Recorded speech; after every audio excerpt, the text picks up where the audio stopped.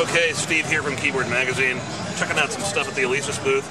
Uh, this is the new Vortex wireless MIDI controller. Uh, we reviewed the Vortex, gave it a key buy, reviewed it very favorably. Uh, I don't know the month issue off the top of my head because it's NAMM, and my brain has the retention capacity of, uh, of a sieve right now.